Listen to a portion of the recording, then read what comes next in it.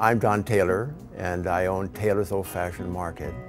And this is my son, Kevin. We just celebrated our 50th anniversary. Our people know our customers by name. The customers seem to appreciate us, and we appreciate them more.